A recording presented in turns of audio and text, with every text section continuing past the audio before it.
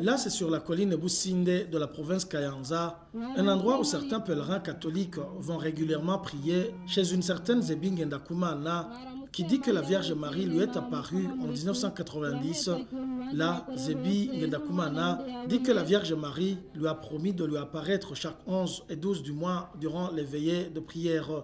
C'est ainsi que chaque 11 et 12, l'endroit reçoit beaucoup de chrétiens catholiques pour recevoir le message de la Sainte Vierge Marie ainsi que d'autres bénédictions comme ils le disent.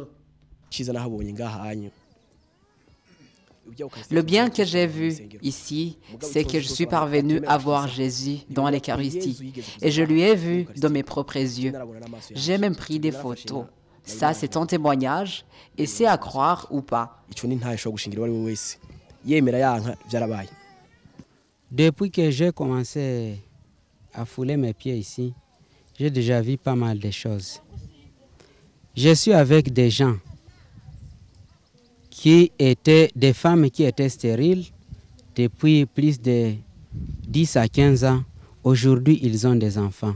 Bon, il y a eu des malades qui sont venus ici dans un état de santé très critique, mais aujourd'hui, ils sont en bonne santé.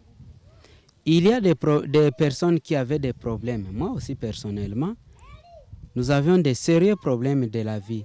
Mais dès que nous avons commencé à venir ici, à venir prier ici, tous les problèmes sont déjà décantés. Orpheline de père Zebing Ndakumana est née en 1986 en commune Garombo. En commune Garombo, elle a fait la catéchèse appelée communément Yagamukama en Kirundi. Elle s'est rendue dans des pays comme le Congo, la Tanzanie, l'Ouganda, etc. pour prêcher la bonne nouvelle. Elle est accusée de vouloir empêcher les enfants à faire des études, ce qu'elle nie, de même que ses sympathisants.